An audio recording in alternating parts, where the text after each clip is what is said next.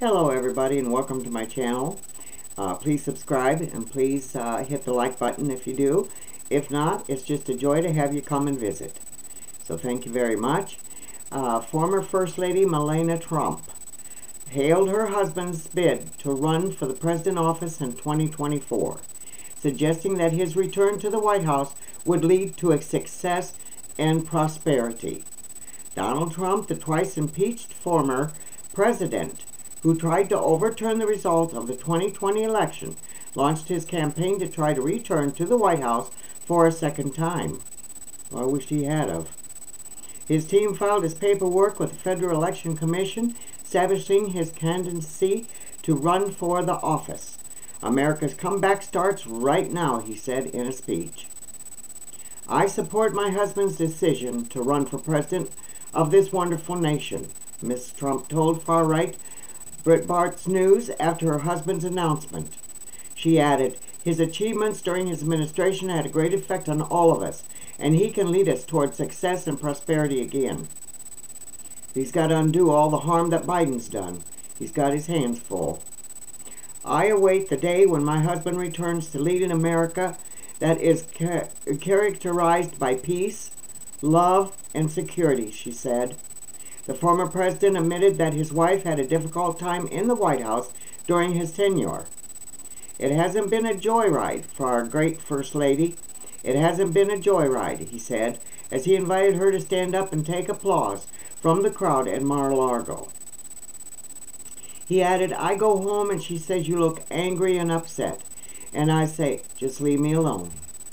It hasn't been the easiest thing, but she has been a great First Lady and people love her. She's a beautiful, beautiful lady. Beautiful lady. Yeah, beautiful.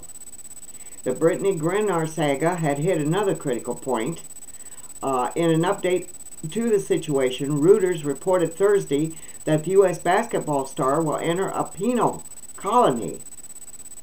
Humemara Pamuk of Reuters reported that Griner had moved to a penal colony in Moldova. My goodness, basketball player star. Pamuk wrote in a tweet, U.S. basketball star Brittney Griner has been taken to female uh, penal colony IK2 in Y-A-V-A-S, Yvas, about 500 kilometers southeast of Moscow in the Russian region of Moldova. Mordovia. The update comes from silence on Griner's status for the last few weeks. The report read, Russian authorities have given no information on her whereabouts for nearly two weeks. It later read, the colony is in Moldova, the same region where another American, Paul Whelan, is serving a 16-year sentence in a different penal settlement after being convicted of espionage charges he denies. A meeting was held between the U.S. and the Russia on Monday. Uh, President Vladimir Putin uh, met with a CIA intelligence director on nuclear weapon use and unjustly kept prisoners like Griner. U.S. President Joe Biden has spoken on the matter recently also. Biden is determined to free her from captivity. He had been steadfast about a prisoner swap between the two nations. The swap would include Griner, former U.S. Marine Paul Whelan, and Russian arms dealer and U.S. prisoner uh, Viktor Bout. I thought all this had been settled here a while back. Or was that with other prisoners that they're keeping over there? I don't know. Those who have experienced penal colonies have shared their experiences on what's next to Griner. Uh, many of them are grim and horrifying to read. Well, I can imagine. So that's, yeah, I thought uh, she had been released. And uh, they had traded that prisoner back over to uh, Russia. But I don't know. Bless their hearts and God bless, hopefully, President Trump, that he will take his place in office again. But like I said in another video last night, I'll tell you what, these next two years scare me to death. You know, it kind of uh, gets me to thinking maybe President Trump shouldn't have said nothing about wanting to be back in the White House. Because now that everybody knows, and the public knows, the enemies knows, all countries knows that he's going to be running for president, it's scary for him, his family, Melania. I don't know. Maybe my mind is running wild. It could be, but I don't know. I got a funny feeling. But let's hope and pray for the best. All right, now uh, let's go down here. Um, now, when Trump was doing his speech, um, this kind of um, bothered him a little bit because the cameras uh, were so uh, swayy, you know, jumping from one one place to another place to another place, trying to keep him in focus, and him trying to keep with the camera he was supposed to be with, with the red light, whatever, and um, he got a little disorientated, and he said, "I'm getting seasick." Well, I don't blame him, you know. Um, during a campaign rally in, in, in my state, Iowa, former President Donald Trump griped about the stability of his teleprompters while his followers were busy criticizing President Joe Biden's use of the technology online.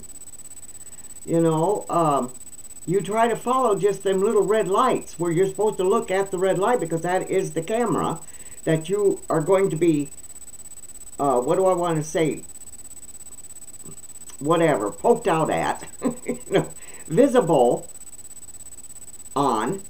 And if they keep jumping that red light all over the place, it does affect your mind, your, your vision. Your eyes don't know which way to go. So I can understand. In Sioux City on Thursday night, Trump complained about the waving teleprompters, teleprompters while giving a speech amid a storm. Off script, the former president told the gathering at the rally that the movement of the gadgets was making him seasick. Well, it will, you know. Bless his heart. He asked if people thought it was easy to be up there in the wind. He said, I have these idiotic teleprompters that are waving around. Well, the wind blowing at uh, 40 miles per hour, 30, 50, 40, whatever and you can't keep track of that little red light. So, oh my. Trump continued to admitting that he's occasionally chooses to give it up and talk without a teleprompter before saying that doesn't work well for Biden when he does the same. On social, social media, Trump backers criticized Biden for using teleprompters with some implying that the former president did not use them while appearing on camera. The president's use of teleprompters during his speech on political violence and threats to dem- democracy on Wednesday night drew criticism from conservatives. Ted Cruz of Texas, a member of the GOP, tweeted on Wednesday, It's truly sad that Joe Biden couldn't get through his teleprompter address tonight without getting the day of the election wrong. See, they can throw your, well, uh, can't think of what I want to say right now, your focus off. You know, it, it's not good. But while ignoring that the former president likewise routinely utilizes, teleprompters, uh, Trump and his allies have frequently lambasted Biden for using them. Trump charged Biden with using teleprompters to respond to questions press conferences in a September 21 interview with Greg Gutfeld of Fox News calling it awful for our democracy. Well, each to their own, I guess. If you didn't have to use one, I wouldn't use one.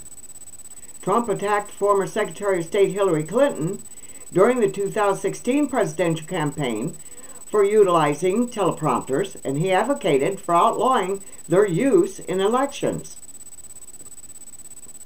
They aren't my style, Trump said. Others employ teleprompters. Perhaps using a teleprompter while running should be prohibited because you find out what you're getting. Yeah, you're getting confused and delirious and dizzy. I don't that's just my take on it. I don't know. Whatever. Oh my goodness. It can't be funny. It, it really isn't funny. I, I feel bad for those people. You know, I'm kind of glad my feet's right here on the ground in Iowa. I wouldn't want to be in the limelight like that in the public constantly and not knowing which way to look or or what to say or what words not to use or who to speak to, who not to speak to. You know. oh my goodness. Okay. I'll be back. I got some lined up here.